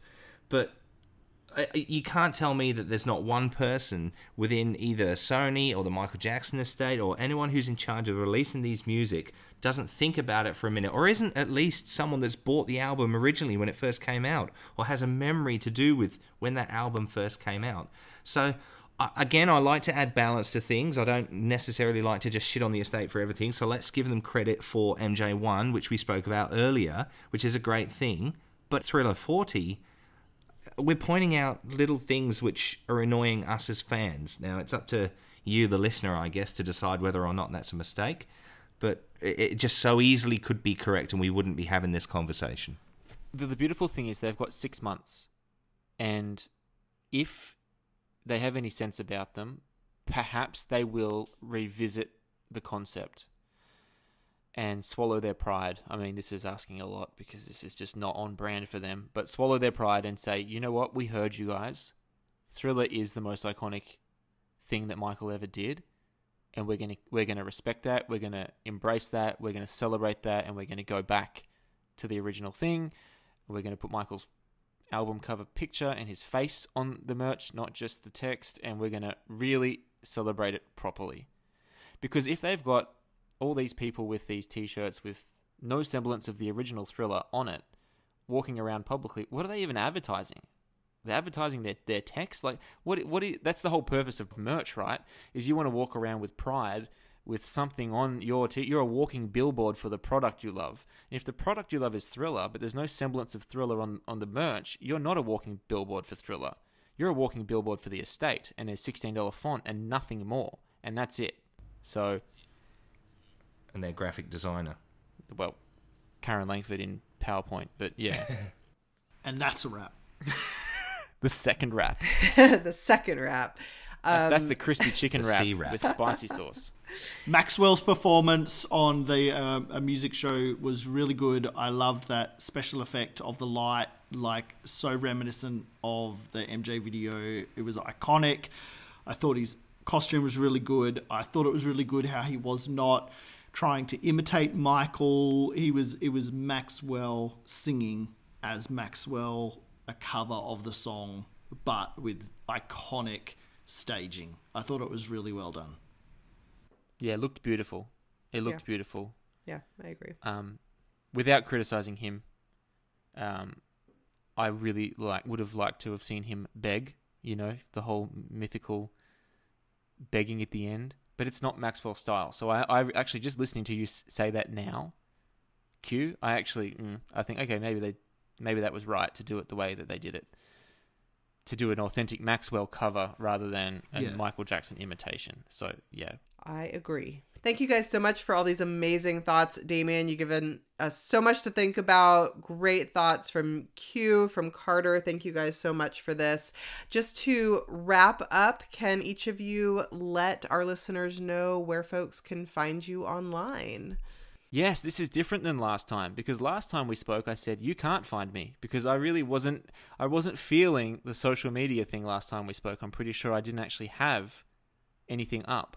But find me on Twitter if you want to see me really speaking a lot of negative things about the Michael Jackson estate. No, I'm joking. I, I do talk about other stuff. At Damien Shields on Twitter. That's the only place you can find me other than my website, which is very rarely updated. Only at this point with important updates about Vera's case is damienshields.com and that's it. Twitter, website, that's it. Oh, and my well, you can also if you really um, want to learn about the origins of the Thriller album and how it all came to be, you can listen to my podcast. It's on Spotify, Apple Podcasts, um, YouTube. It's called The Genesis of Thriller. I'll take you inside the studio with Michael and his team, Quincy, Bruce, Rod, and the rest of them, to see how the Thriller album came to be. Or you can read my book, Michael Jackson's Songs and Stories from the Vault. That's available only on Amazon. And Q, where can people find you online?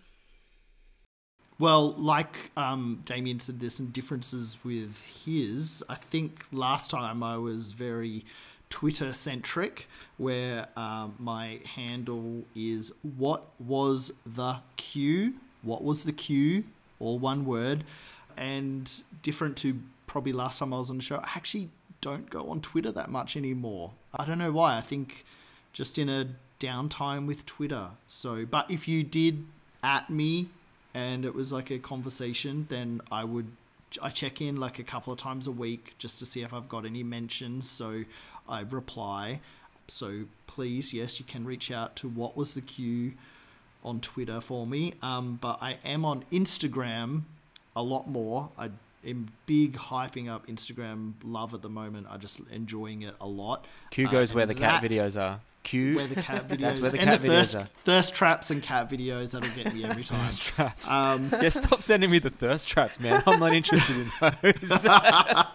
Stop it was it was. MJ related.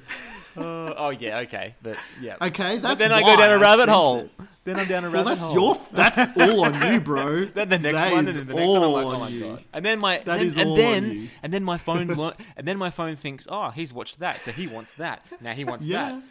Oh, That's all on you. Anyway, I'm on Instagram. What was the Q two? So just what was the Q and add the numeral two to the end of it. It's like a sequel. What was the Q2? You can find me on Instagram.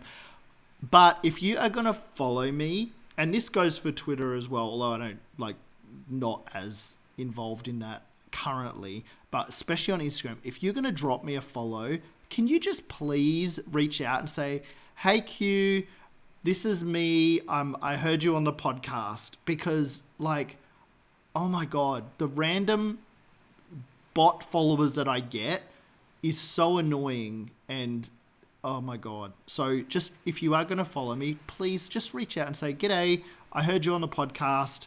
You know, I'm just going to going to give you a follow." Because then I know you're not a bot and I'm not going to go and block you because I think you're a bot. Maybe because you have a private account, especially if you've got a private account, I will probably just block you because I think you're a bot. So just reach out. I think pretty sure my DMs are open on everything. And send thirst traps, that's fine. So send anything else? Dick pics, anything? No, no, it's fine. Thirst traps only. Thirst traps only, okay. uh, Carter, where can people find you? On Twitter and Instagram, I'm Charlie W. Carter. Uh, for those of you that like looking at photographs of airplanes or aerial pictures of Neverland, there's at Alpha Charlie Photos on Instagram as well. And I'm also on YouTube if uh, any of you want to follow my flying journey, and it's just Alpha Charlie. And my personal account is Elise Capron across social media. I am also not doing too much Twitter right now. I'm taking a little bit of a pause. But of course, on the MJCast side of things, you can find us at the MJCast.com and on any platform Facebook, Twitter, Instagram, YouTube at the MJCast. We are active on all of those platforms and we love to hear from you guys and we reply and engage as much as as we, we can. If we ever don't please feel free to ping us again. Sometimes we've just missed a message. But you guys thank you so much. This has been so much fun. It was so so good to have both you damien and q back on the show after a while. I hope we can get you back on this season. We've missed your voices so much. And thank you guys for all you do. Carter thank you for all the work you put into the show. And i hope you guys have a great rest of your week and we have lots of interesting, exciting things to come. Fingers crossed for Thriller 40. I'm going to try to be optimistic and uh, just hope you guys have a great week and make sure to stay bad. And if uh, I might take this opportunity to wish Jamon and his whole family all the best with baby number two, we hope to see you very, very soon again in season eight. Absolutely. And punch Nazis. And punch Nazis. what did you say? Is that Q's new sign off? I think it is. Punch Nazis. Oh, God. Glory to Ukraine. Glory to Ukraine. And Michael on. Oh boy. I'm not punching anybody, but I love you, Q.